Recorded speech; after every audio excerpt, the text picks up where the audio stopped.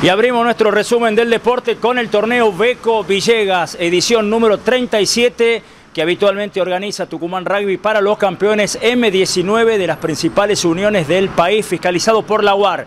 Título en esta ocasión para Universitario de Tucumán, que derrotó en la final al Jockey de Rosario. Pileteada, cancha barrosa y las emociones de los pibes de Uni para quedarse con este emblemático torneo. Martiniano, felicitaciones, mejor jugador del torneo y Uni campeón, ¿eh? Sí, la verdad que es una locura, creo que nunca me lo hubiera imaginado. Eh, creo que es un laburo de todo el equipo, de todo el staff de, haber llegado a esta instancia y bueno, creo que podría haber sido para cualquiera de los dos y nos tocó llevarnos nosotros. Lindo torneo, ¿no? A ver, partidos complicados. Sí, creo que son todos los campeones del país, creo que, que es un laburo muy grande de todo, de todo el equipo. Eh, pero bueno, ganó el mejor. Leandro Caricato, una de las figuras de, la noche. Bueno, Leandro, felicitaciones. Campeones del Boico y no es para cualquiera ganar acá, ¿eh? Y la verdad que no, que, que es el, para mí, personalmente el mejor escenario que se puede dar eh, a nivel rugbyístico.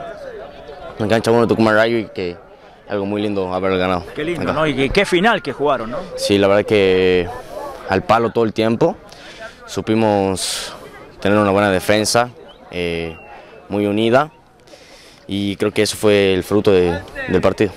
Venimos desde el mes de junio, yo hablaba con gente de otras provincias, junto con Marcelo y un grupo de, compañeros de trabajo, venimos organizando esto desde el mes de junio. Eh, y parece mentira y llega el día viernes, el día previo y seguís ajustando detalles y viendo cosas y siempre te falta algo y siempre nos quedan enseñanzas y cosas para mejorar para el beco del año que viene. Se va, ¿Se va superando el beco, Marcelo, año tras año? Año, año, sí, año año aparecen cosas distintas y ya quedamos mañana, tenemos la primera reunión para evaluar, no para prepararlo, sino para evaluar y ver un balance y sobre todo poner a notar las cosas buenas y las que no se ven tan bien para el año que viene sea aún mejor.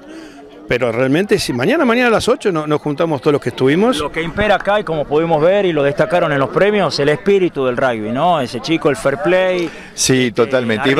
Y, hay que destacarlo, hay que destacarlo. Esos gestos hay que destacarlos porque, como bien decía Félix, son el espíritu del rugby, es la filosofía del rugby y es lo que nosotros tratamos de mantener vivo permanentemente, eh, institucionalmente y en cada uno de los actos en los que, bueno, podemos transmitirlo.